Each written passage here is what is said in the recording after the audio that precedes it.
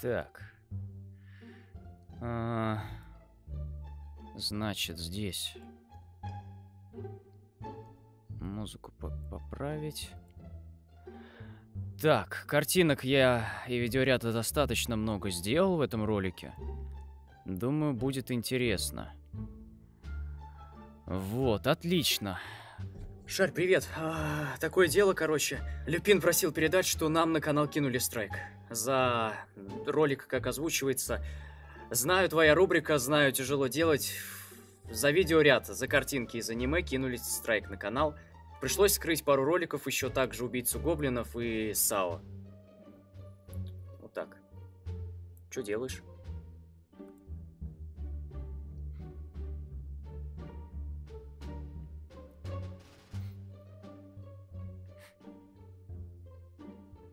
Я.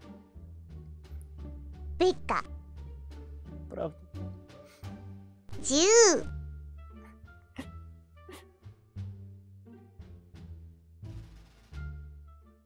Всем привет, дорогие друзья, с вами Шарон, и наконец-то у меня появилось свободное время, чтобы сделать для вас очередной выпуск своего блога, который смотрит, наверное, не так много людей, как Люпина, но тоже смотрят, поэтому я его и делаю. Я хочу сказать вам всем большое спасибо. Ребята, нас 300 тысяч на канале. Большое спасибо вам всем, что подписываетесь, что смотрите ролики, и за то, что, надеюсь, нажали на колокольчик, чтобы не пропускать новые ролики, например.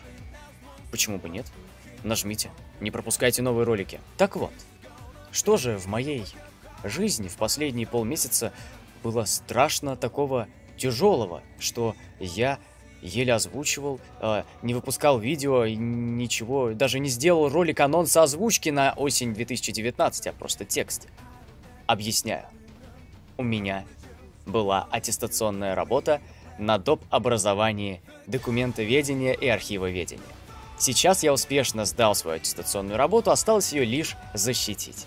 Через неделю будет защита, и после этого я получу первое в жизни профессиональное образование. Не знаю, правда, зачем, но пусть будет, а то мало ли вдруг пригодится. В учебе в универе тоже началась настоящая жесть. Начали сдавать кучу а, каких-то проектных заданий, без которых я не получу зачеты, и надо э, их готовить, делать, набирать баллы, иначе, иначе никак. Как бы всем в универе на тебя, по большому счету, все равно. В универе ты должен сам следить за тем, что ты делаешь и когда ты это делаешь. Потому что если в универе ты что-то закинешь, то виноват в этом будешь ты сам. И никто с тобой бегать не будет. Тебе просто не поставят зачет и все. Поэтому вот эти вот все три недели я бегал, э, на занятия, что-то готовил. Какие-то занятия, к сожалению, я пропустил из-за того, что я мало спал. Я очень мало спал. Вот, э, сейчас я могу спать больше. Ну а сейчас новость, которая лично у меня вызвала крайне высокую степень охеревания от происходящего. Значит, на наш канал прилетел страйк за ролик, как озвучивается обещанный Неверленд. Я автор этого ролика. Я делал этот ролик на протяжении нескольких дней. Ночами сидел и делал этот ролик. И там были вставки меньше 10 секунд кадров из аниме, чтобы было понятно, что и как мы озвучиваем. Так вот, больше кадров в рубрике «Как озвучивается» из аниме не будет будет исключительно картинка тех людей, кто озвучивает, видеоряд тех людей, кто озвучивает, и какая-нибудь музыка, возможно, написанная мной самим, потому что, не дай бог, прилетит за авторские права. И нет, я вовсе не горю. Понимаете, те эти ролики уже посмотрели те люди, которые хотели их посмотреть. А те, которые могли бы их посмотреть, их очень мало. Потому что просмотры на этих роликах в последнее время а, росли очень медленно.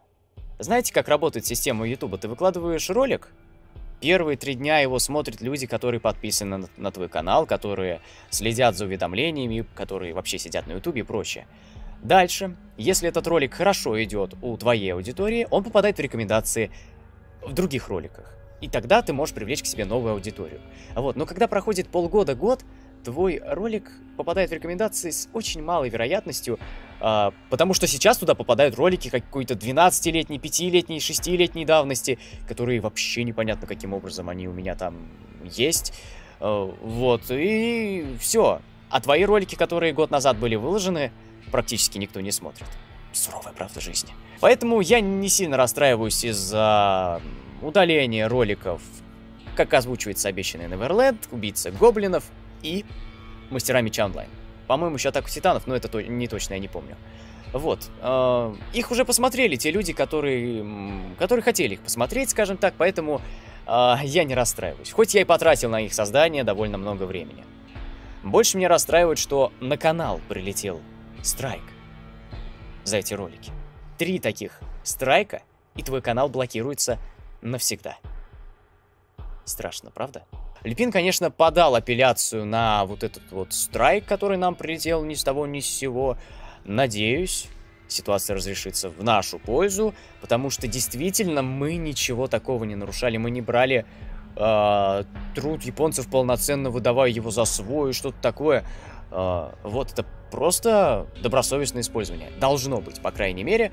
Если нет, если не получается, то и хрен с ним, делаем просто контент, который наш, собственный, авторский.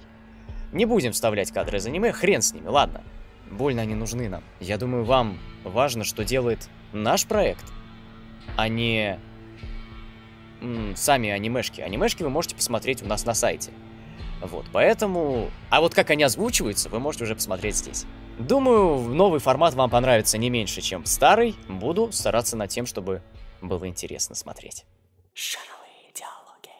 А теперь, внимание, хорошие новости.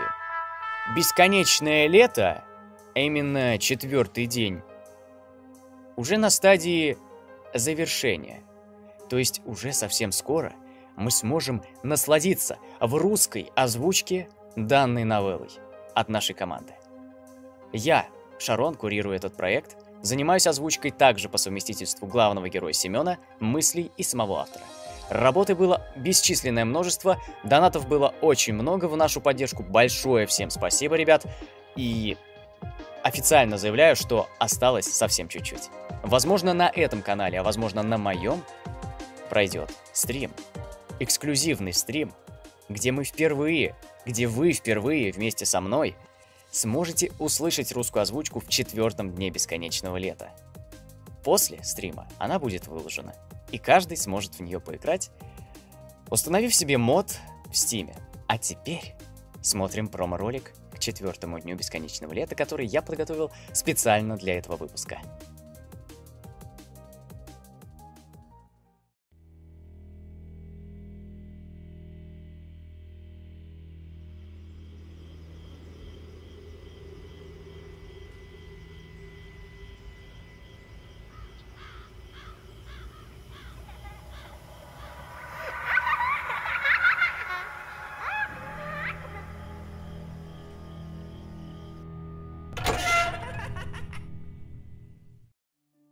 Я сидел в шезлонге и смотрел на звезды.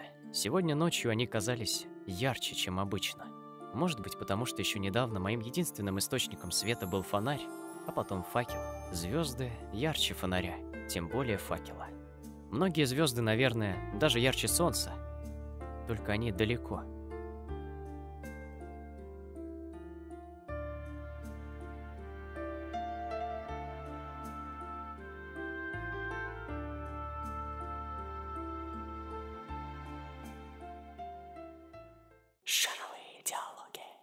А сейчас, дорогие друзья, я вам предлагаю на секундочку закрыть свои глазки. И я на Афуме анонсирую для вас второй и третий сезоны Восхождения Героя Щита. Да-да, ребята, авторы аниме-сериала Восхождение Героя Щита официально заявили, что второму сезону быть и третий сезон уже в разработке. Я несказанно рад, что этот аниме-сериал получил движение и продолжает пользоваться популярностью, набирать аудиторию и выпускать следующие сезоны, потому что Ранабет действительно интересно. Хотя многие считают, что там дальше, после четвертого тома, пятого, все скатилось, все говно, все. На Фуме себе собрал гарем из детей. Не сажайте. Это шутка. И, короче, все. Уже его никто не унижает, уже вся фишка сериала потерялась, смотреть неинтересно. Идите нафиг отсюда, все. Выйди отсюда, разбийнутый. Я буду ждать четвертый сезон восхождения Герой Щита и смотреть его. И вам советую смотреть вместе с нами. Также еще немного новостей про Героя Щита. Нашего Наафуми в 2020 году вновь Исикайнет. Высекайный квартет. Да-да, вы не ослышались. Второй сезон аниме Исикай Квартет, который выйдет уже зимой 2020 года, получит новых персонажей в лице Нафуми, Рафталии, Фира и, возможно, других персонажей из вселенной Героя Щита. Что же, теперь я официально участвую в этом релизе вместе с нашими ребятами. Если раньше я просто заменял Натса на роли Субару, то теперь у меня появился свой собственный персонаж. Тем более, если Нафуми и в этом мире снова обвинят в изнасиловании, он уже будет знать, что делать. 29 сентября, каких-то полмесяца назад, у меня был лучший праздник в моей жизни, наверное, потому что, во-первых, это юбилей, во-вторых, это, как вы поняли, день рождения.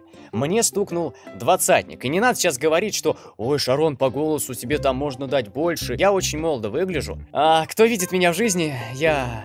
Они удивляются, они реально удивляются очень многие, потому что я маленький, я компактный, я молодо выгляжу и, и не похож на взрослого человека. А, какой я взрослый. Я хочу сказать еще раз всем спасибо за поздравление и отдельное спасибо сказать Сильв, которая приехала ко мне в этот день и отпраздновала со мной. А, день рождения купили тортик, приготовила покушать. Счастье, сказка, балдеж. Спасибо. От души. Если ты смотришь, спасибо. Я знаю, что ты улыбаешься, и ты смотришь. Спасибо. Жду в следующем году. Посчитаю тебе, успокойся, не а ты на дых... э, дыхалку набирай. Ты у нас композер, да, я поняла, чем ты. Извини, что перебила. Итак, раз, два, три. Аплодисменты! Ты справился! Убери! Сейчас отдохнемся здесь. Что-то наш круг хайповости не заканчивается. И сейчас речь пойдет про аниме «Мастера меча онлайн Алисизация». Наконец-то вышло продолжение этого аниме-сериала. «Война в Андерворлде». Так его кличут сейчас. К сожалению, главного героя ближайшие половину сезона точно не будет. А это значит, что Кирита в моем исполнении вы сможете услышать только через полгодика. Меня, конечно, эта новость тоже довольно сильно расстроила, но зато Появилось время уделить внимание другим персонажам, и это не может не радовать. В центре сюжета второй части алисизации станет главная героиня Алиса, и также под конец сюжетной линии появится Асуна и всеми нами любимые девушки. Благополучно собранные Кирита в гарем э, в первых двух сезонах. По моим впечатлениям от первой серии могу сказать, что первая серия очень красочная, очень ламповая, очень приятная. Приятная музыка, приятная рисовка, очень приятно видеть, что A1 Pictures старается над этим сериалом, и рисовка не испортилась по сравнению с первой половиной алисизации, и более того, мне кажется, даже САУ смотреть стало еще приятнее. Но я не читал Ранабе дальше 14 тома, поэтому я не знаю о событиях, которые будут происходить в алисизации дальше. И концовка первой серии меня заинтриговала. Скорее всего, экшон начнется уже со второй серии. Очень необычно, скажу еще, видеть Кирита в том состоянии, в котором он сейчас находится. Вот, меня это немного огорчает, конечно, но, тем не менее, смотреть очень интересно, как о нем заботиться. Потому что этот парень действительно очень многое сделал для всего подмирья, по крайней мере, для людской половины подмирья. Вот, э, будем смотреть, будем смотреть. Сериал не скатился, сериал топчик. А, и кстати, да, Вторая часть алисизации, война в Андерворлде, будет разделена на две половины.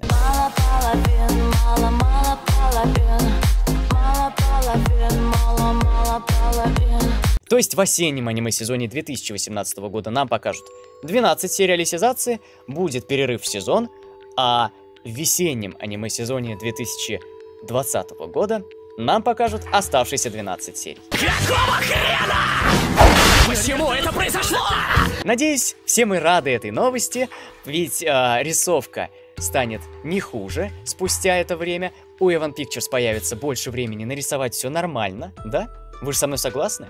Вы же не будете кричать, что, что они такие мрази растягивают время, чтобы заработать побольше денег и прочее, прочее, прочее. Надеюсь, вы понимаете. Потому что рисовать аниме это муха дорого. Это очень дорого. Это очень дорого и время затратно. И если это делать очень быстро, то получится говнецо. Кстати, ребята, вы посмотрели Астру, затерянную в космосе? Я ведь рекомендовал в прошлом выпуске-то. Для кого я ее рекомендовал? Посмотрите обязательно. Мы там целый обзор сделали на этот аниме-сериал в прошлом выпуске. И выпуск прошлый можете посмотреть, если не смотрели.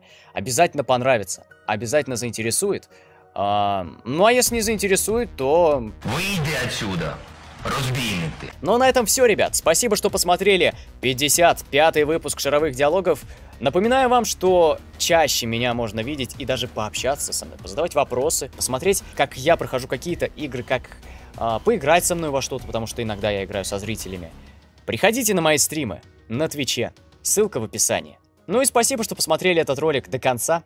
Я очень старался, хотя мне довольно тяжело их делать, потому что я чаще всего не знаю, о чем говорить. А... Не забывайте ставить лайки, писать в комментариях, что вам нравится, что не нравится в моих выпусках, давать какую-нибудь критику или пожелание писать. Э, писать, какая тема вам наиболее интересна. Возможно, я не расскажу в отдельном выпуске. Кстати, дальше я планирую рассказать вам о аниме-сериале Henshin Emergence. Рассказать о том, какой он классный, о том, какой он интересный, и о том, какой он не шаблонный, и который стоит действительно смотреть, потому что это не то, что вы думаете, прочитав описание и посмотрев на постер. На этом все уже вот точно, наверняка, больше я не скажу ни слова, кроме пока. Пока.